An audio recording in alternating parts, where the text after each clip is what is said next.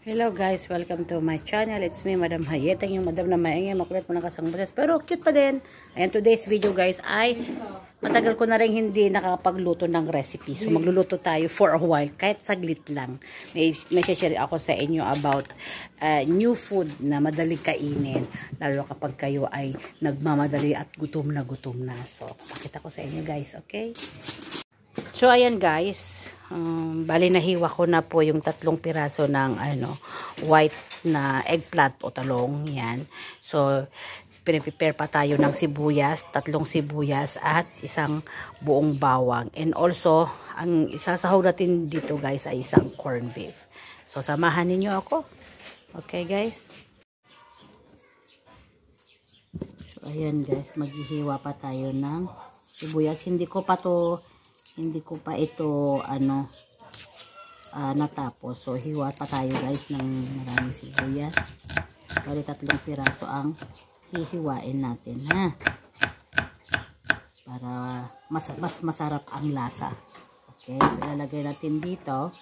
Ayan kung nagtataka kayo bakit hindi na yung dati kong kitchen yung makikita nyo ngayon kasi ibang kitchen na nandito na tayo sa Pilipinas wala na po tayo sa Lebanon. So, wala po akong totally proper kitchen.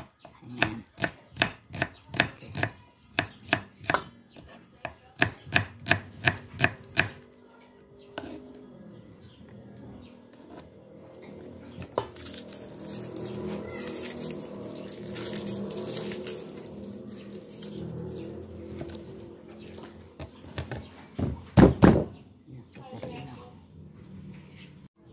Guys, sa ibang ano tayo nag ano.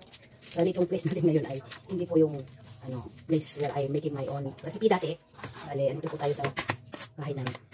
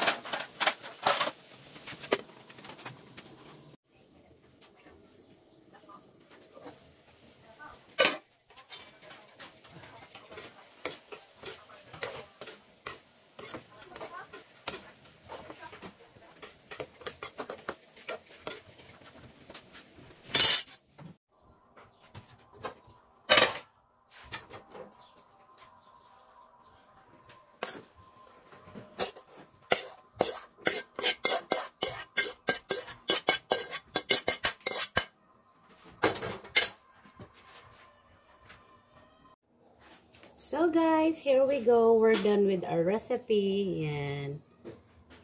Um, corned beef talong, eggplant. I made it. Yeah. Thank you so much for watching guys. I hope you like it at nagustuhan at natutunan nyo. Very easy to cook it, lalo pag gutom na gutom kayo. So once again, don't forget to like, subscribe, comments below, and share. Thank you so much guys. This is one, once again, Madam Hayeteng, yung Madam Hayeteng, may makulit malakas ang ulos, pero cute pa din. Bye-bye. Until next time.